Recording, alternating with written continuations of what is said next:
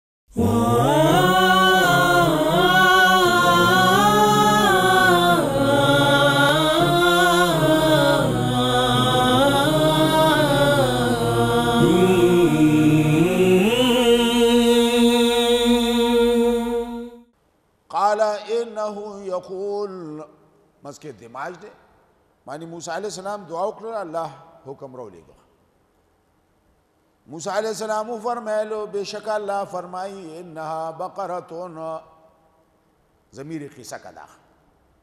چې بشک قصه دا دا چې دا غوا چې دا لا فارز ولا بکرون فارز فرض دلته معنی لغوي استعمال کړه دا فرض کې قطعي کړه هغه ځان خبر نه کی حکم قاطع وي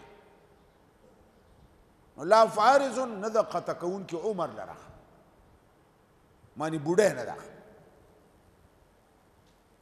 ولا بکر نه ځوان ده نو ځواني تقریبا دوه کال نه شروع شي او بډاوالی چې غاخونه ماخونه وغورځي شو اډو کې نه لي ختم شي نو نه هغه څه ده او نه دا څه ده نو دا منځ کې هم بیا ډېر وقفه ده کنه پای کې هم ډیر غوان وی کنه چې دریو سلورو پنځو شپږو او اتو داسې قسم غواګان ډیر دي کنه نو سمه پر سخت کړل ښه وینا عوان درمیانه ده نو درمیانه کې خو بیا وی کنه دوه درې کاله فاصله وینا نه بین ذالک دې مز کې ده بالکل خالص د مز نقطه بر وړه داسې پر سخت کړل بیا وته وی دا بیا د الله مهرباني ده چې ففعلوا ما تؤمرون الکه نور ټال مټول مکوي سوالونه مکوي دا بس یو شرط پکې ولګي دا خو آسان دی په نسبت د نور ما بعد اوکه هغه چې تاسو ته حکم کې دی شي ټال مټول مکوي ځکه ما ته اصل د واقع حکمت دا دی چې د الله حکمونو کې ټال مټول مکوي ستاسو لپاره سبب د نقصان ګرځي تا ته حکم ګرانی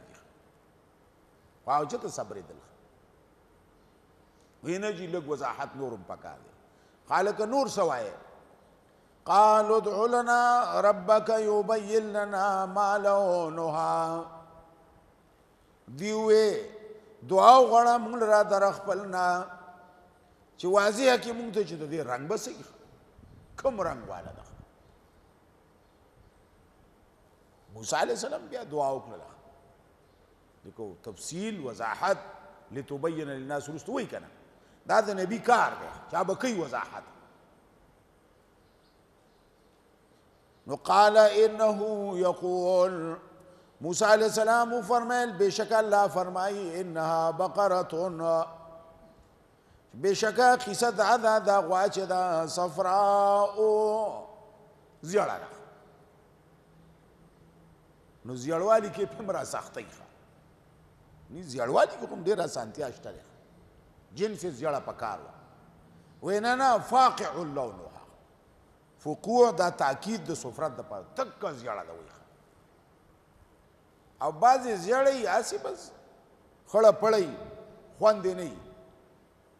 لکه سړی زیړ شي لکه دا رنګ دې زیړ دی دا ولې څه بیماری اته وینه نه دغه زیړواله نه دی تسر الناظرین اچ وګوره داسې دا کتون کې خوشاله چا لکه ډیر خسته ده کتون کې خوشاله داسې رنگ دی الته هم پکې درې وروړو دلته هم پکې درې وروړو درې قیدې پکې وته ولګول دورګه ته بیا نه کوي هغه بیا هم نه صبرېږي قالوا ادع لنا ربك يبين لنا ما هي دی بیا وې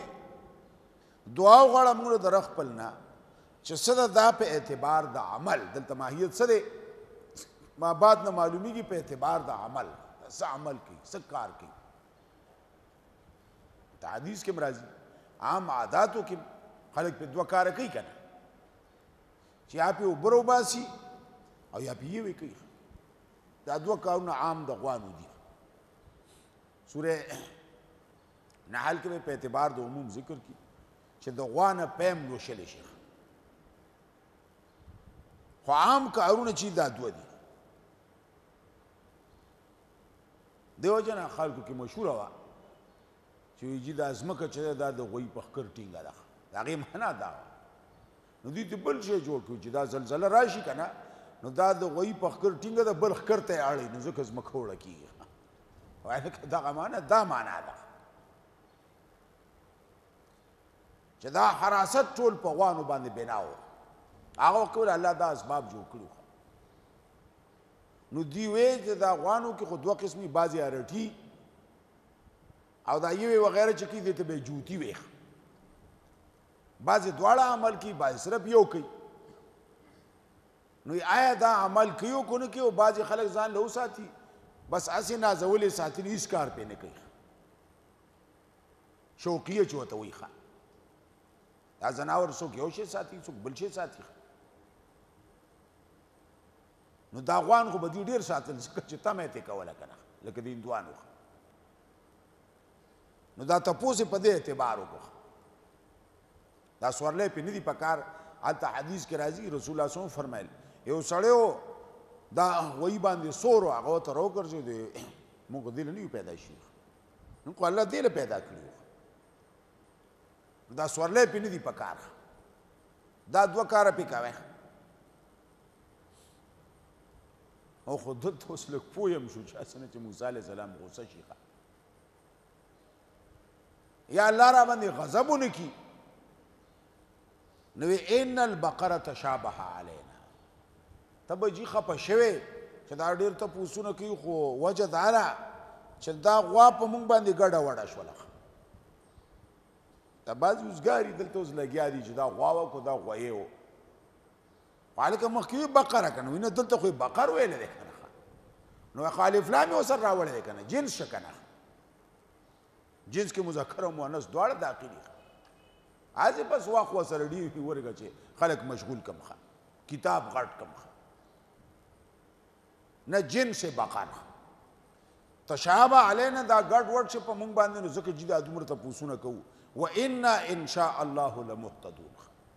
دا ان شاء الله دا غمشیت سره ګرځي د دې کمالات رستو ګوره دلته کمال وګوره رسول الله صلی الله علیه وسلم فرمایل کو دی دا ان شاء الله نه وی ویل کنه دا نه ملاوي دلو دا ان شاء الله کې دا کمال شته دی دا عظیمه کلمه ده کلمه المشیع او تویخ دې کې دا عقیده ده نو یې مونږه کو چرې خو خشي د الله خامخا مقصد ته رسیدون کیو مکمه اهتدا بار مقام سره خپل معنی کې مهتدون معنی مقصد ته رسیدون کی غواب وو مو دلته دغه هدایت ده جواب راغی قال انه یقول موسی علیہ السلام وتو فرمایل بشک الله فرمایي انها بقره چې بشکا دا غوا چې دا لا زلولن نه د تابع کړی شوی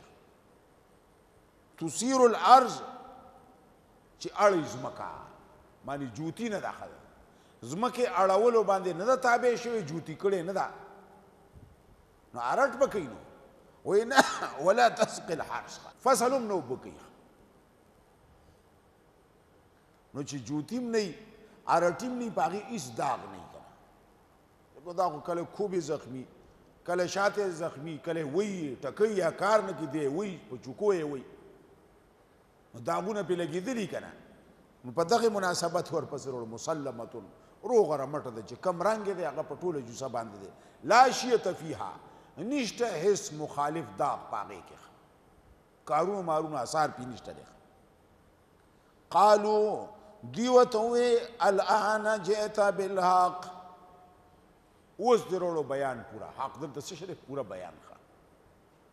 دا ځنه چې مخ کې نه حق اوس حق دلته حق په معنا د البیان الکامل دی نو فذبحوها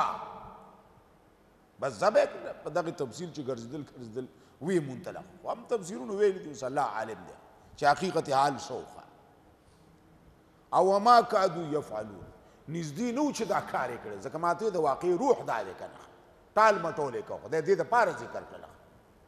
نږدې نو چې دا کار کړي وي خو چون کې عذر ول الله پرې نه خو دو دی وجنه مجبورا نظام کړل دا کار مکوي و اذ قتلتم نفسا فداراتم فيها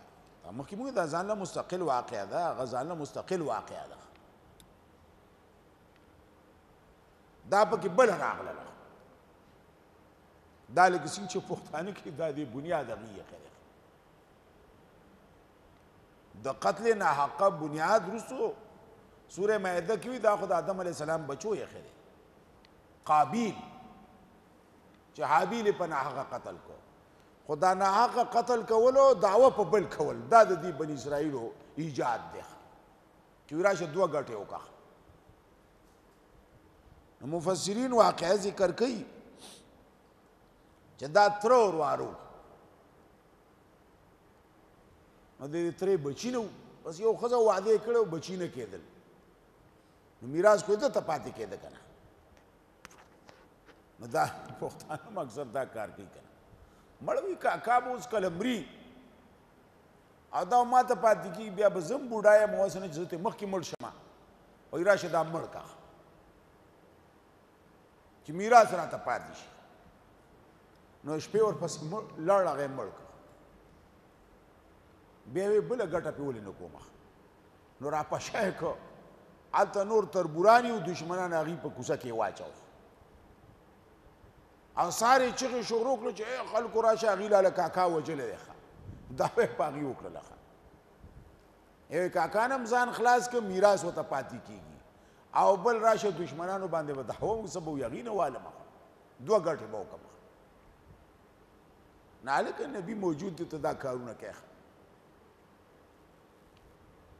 چغې کړلې اخو مې ځان پسې را پاسو چې راشه تاسو څنګه زما تر بوران یې دا وګور زما کاکای وجلې تاسو دلته ناست یې لیم لوړې موړې او تورې ټوپکې به راغلې چې ټوپکې خو نه وې خو تورې وې نیزې وغیره لړ په هغې پسې چې هلکه موږ بدل اخلو ولې هم دا کار کړی هغې وې هلکه موږ ته نیو خبر هلته په هغې سړي پسې هم خپل خپلوان راپورته شو ډلې جوړې شولې کوم چې پکې هوښیار وي هلکه نو جنګ ولې کوی موسی علیہ السلام موجود دی خراج ته به خبر ووسو کنه او فیصله وکي دی ویره دا خبره ده موسی علیہ السلام له چې خبر وروړو جی مسله دا څه ده دې سړي تر مړ دی داوا پاغي کوي هغه وي موږ نه دی وجلې اوس نه د سره غوان شته او سو کیخه هغه وی ښا نو ظاهر دا دی چې ځکه وی فقل نضربوه کنه الله ځان ته نسبت کوي کنه نو الله پاک وته وحی وکړه زدا سه وکړه نو دغه واقعیا پکې ده اوس ګوره په دې واقعیا باندې بیا څنګه تفریح کوي وَإِذْ قَتَلْتُمْ نَفْسًا فَادَّارَأْتُمْ فِيهَا کله چې اوجلو تاسو یو نفس نو بیا مختلف شی پاګه کې تدارو دې ته وی چې وی تا کړې بل وی نه تا کړې ده دې ته تدارو وی دا دې داو کې اکثر هم دغه کیږي نو دا دلته یو خبره کوي چې دا واقع کې مګوره بعضی قتلونه دا سو شي قتل عمیا وته وی کنه او الله ښکار کی تفتیش چې کوي والله مخرج ما کنتم تکتمون الله دې ښکار کوون کې هغه چې تاسو یې پټوي دا ګور یاد ساته نه اکثر قتلونه اخکار چې څوک غواړي چې ښکار دي شي الله ښکار کوي دا پټ نه پاتې کیږي دا ومنس کې جمله معترضه راغله او قاتلینو ته تهدید ورکړ ګوره لکه قاتله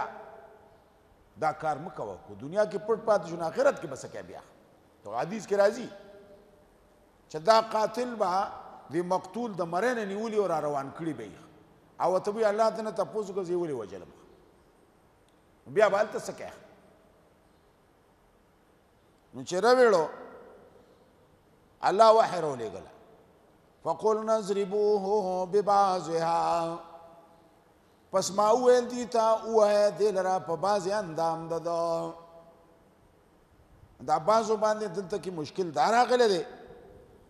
چې جی به بعضې های ویل دا خو ضمیر غوا ته راجع دی که نه نو دا پاس چې وې چې وایز قتلتم نفسا فداراتم فیها نو هلته چا ته راجع دی خو دا نفس خو مؤنث سماعي دی که نه او حقیقي نه دی که نه نو هلته دی ویل نحوه چې حقیقي نه نو مذکر او مؤنث دواړو ته راځي کیږي ښه نحوه قران نه زده کړه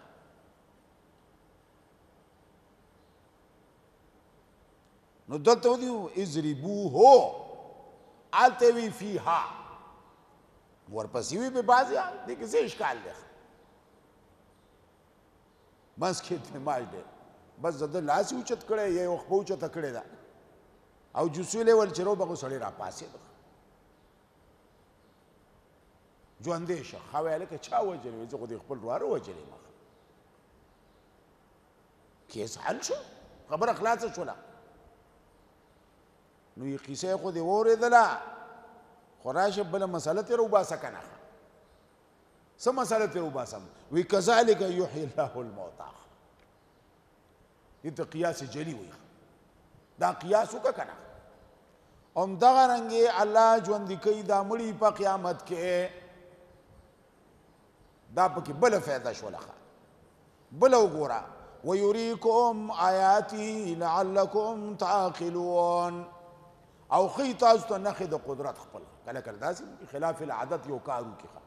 د پار دې چې د عقل نه کار واخلې دا مخکې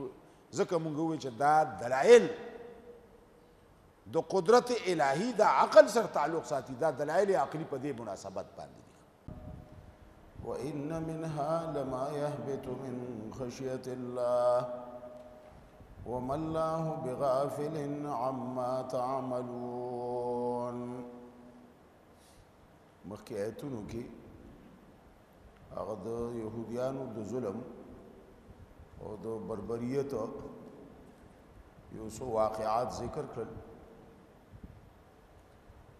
نو دلته وی دینه بعد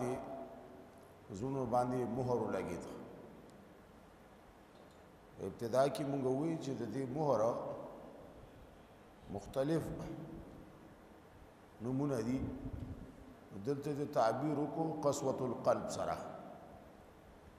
چې زونه سخت شو لکه پښتو کې مونږ لیکل ډیر سخت زړه دا سمه په دې اعتبار وروړو دې کې هغه تعریف ته اشاره شولا چې دا ګناونه کې کې نو دین بعد هم دغه سکارو شو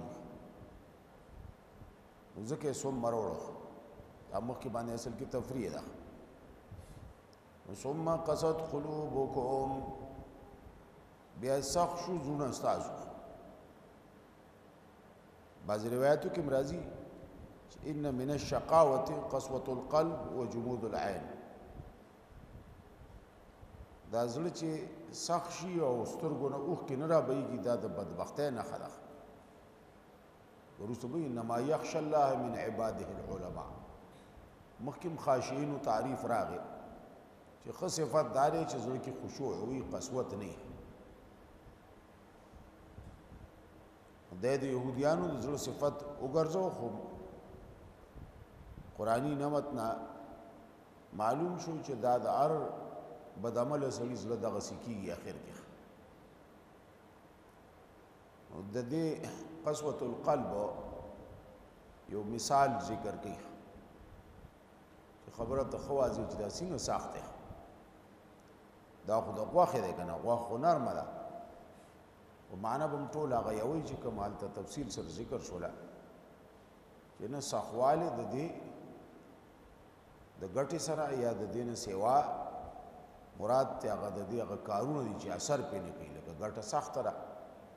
څه شی په اثر نه کوي معمولی گزار په اثر نه کوي او معمولی شینه ماتيږي او بو په اچي غنه جذب کوي په دې مناسبت تشبیه ورکړه نور خو نرم دی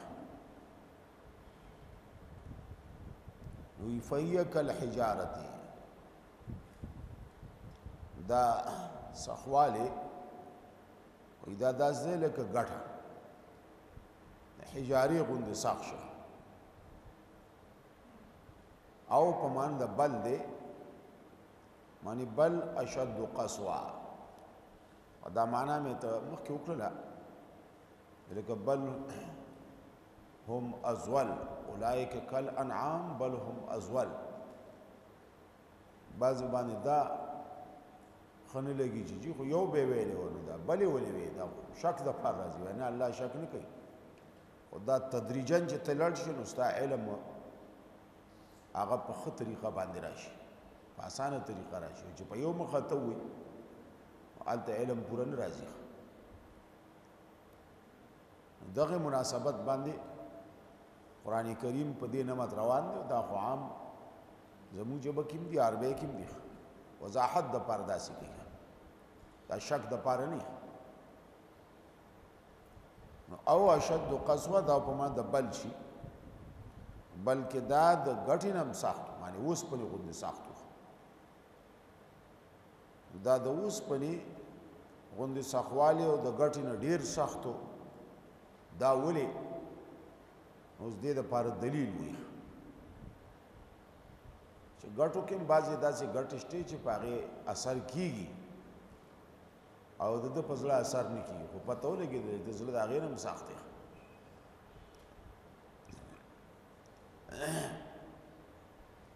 و دا په من د از کې ځکه معنی به ځکه سره کې ځکه چې بعضی د غټو نه لما يتفجر منه الانهار خامخه هغه دي چې را بهيږي دا غینه نهرونه دا لوی لوی نهرونه او دا سندونه چې ګوره دا غرونو ته لړ شو دي غرو کله یو غټ نه کله بل نه کله بل نه دا وګړه روانه دي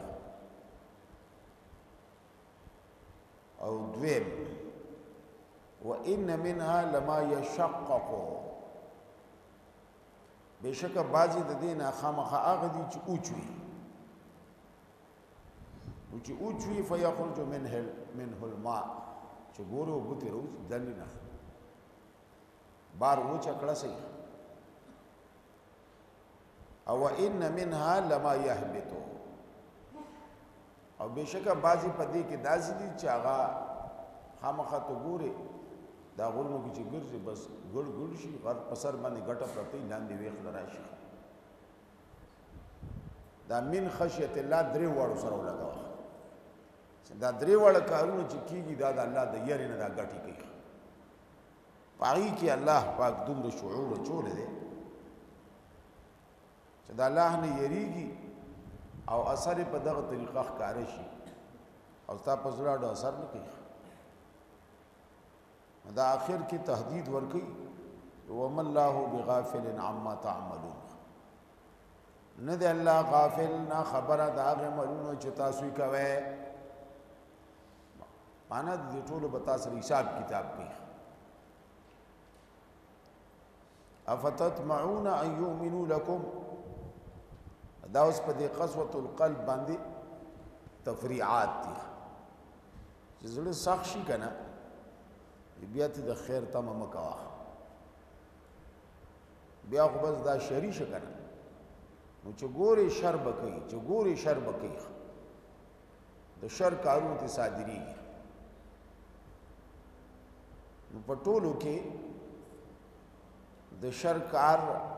چا د ټولو شری کارونو شر اشر و شر چوته وي بدترین اب بېمانی ده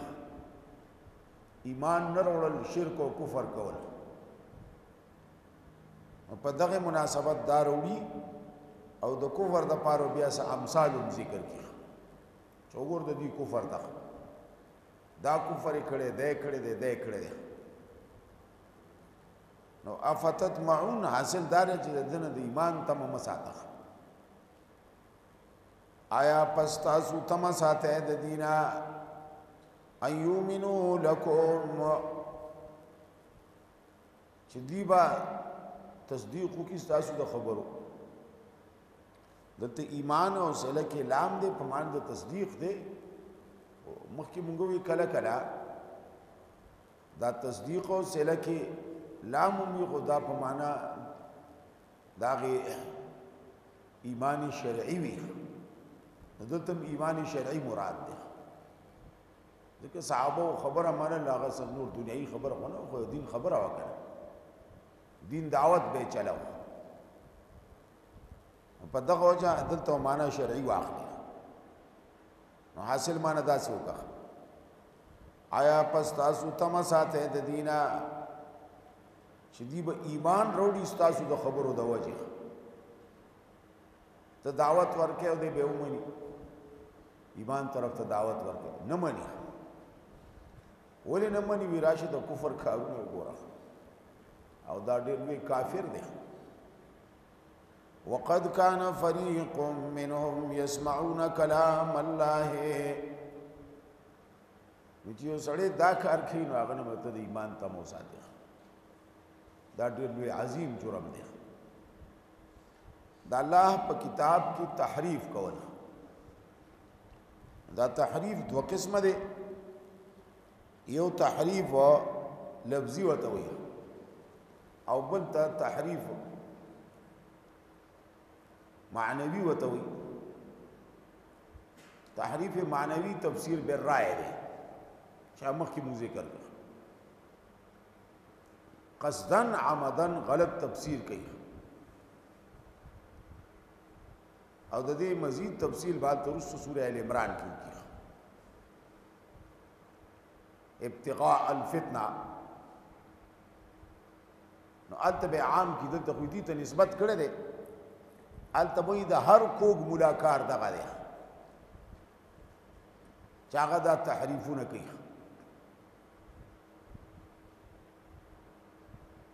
خو یو تحریف معنوي دی او بل تحریف لفظي دی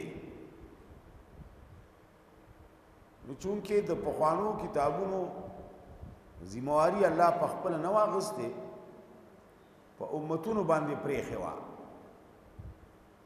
نو امتونو کې خدا کار د علماو دی په کتاب غي پويږي د کتابونو د حفاظت ذمہواری چای ته ورکړل شول هغه سره هم دغه کار وکړ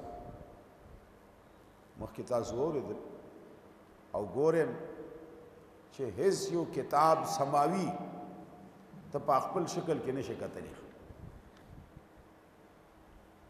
نه تورات شته نه انجیل شته نه زبور شته نه د نور صحیفه شته ختم شولې د دې تحریف لفظي د وجه نه ایو تحریف معنوي دی دا غیم کو دیم کوي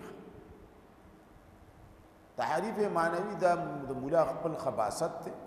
وی کی بس مغه پورم خته کو چاو منو وی منیو کني سو کې انکار کی نور کتاب ذات کې نقصان ناراضي تو کتاب خاصل شکل موجود دی کنه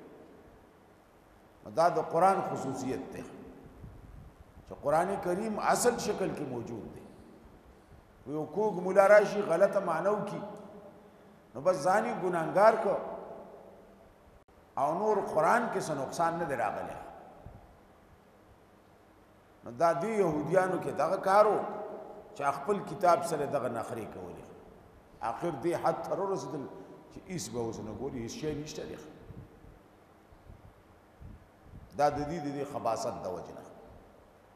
الله فرمایي ته داسې خلکو نه تما ساتي چې دا به ایمان وروړي یسمعون کلام الله اوری دا الله کلام کلام الله نه مراد دلته کې دواړه کې دي شي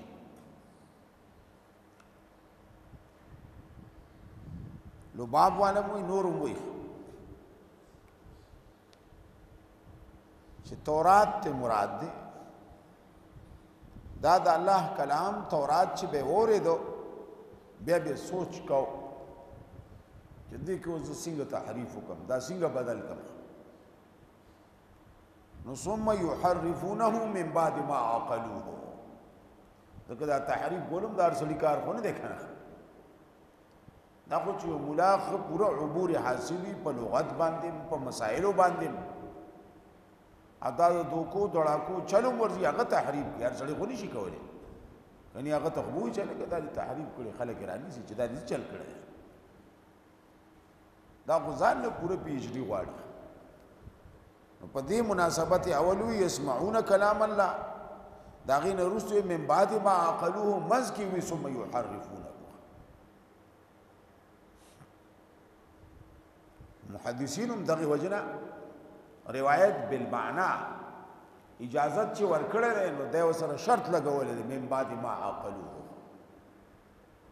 چې د روایت بل معنا اجازت هغه محدث ته دی چې هغه په دې حدیث پوهیږي په معنا باندې پوه شو نو هغه الفاظونه علاوه کو بل لفظ را نقل کړي بیا سباق نشته لري خدای اجازه خو قران کې نشته لري کنه دا حدیثو کې نو په دې وجه دې ته تحریف لفظي وي چې په قران کې دا تحریف لفظي دی په تورات کې دا تحریف لفظي دی په حدیثو کې نه دی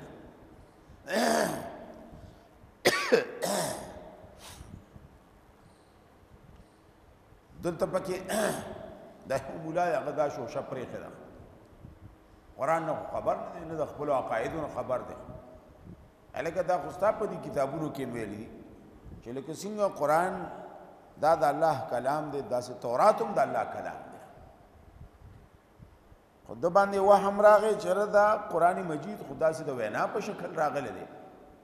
او تورات کتابي شکل کې راغلی دی نو جی تورات د الله کلام نه دی نعوذ بالله او قران د الله کلام دی دا جاهلانه فرق دی ته اسړې دې جاهل مخکې مې ته وې محدثینو چې دیو سړي بارک وي چې خاص هم کنه بس دا د هغه پنځ محدث نه تقرونه کوي بیانونه کوي و استاد حدیث سره سکار دی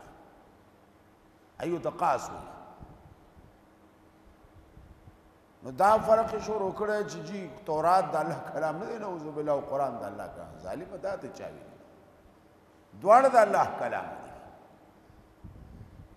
هغه مخ کې مونږ ابتدا کې اتم ابن تیمیه رحم الله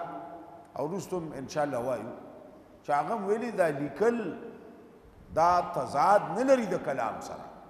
لکه څنګه چې اوس لیکل شوی دی او زموږ مخ ته پروت دی لیکل شوی دی لیکل شوی شکل کې کتابي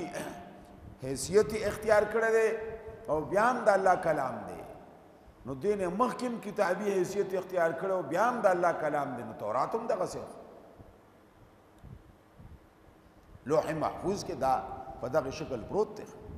لیکل شوی په دې ترتیب نو دا تقاضا د دې نه کوي چې دا د کلام نشي ښه کوګه شاعرانو دا د فلان کی کلام دی دا د رحمان بابا کلام دی فلان کی بابا کلام دی دا کلام اقبال دی نو خو لیکلی دی دا لیکلو سره د دې څه تضاد نه دی ته فرق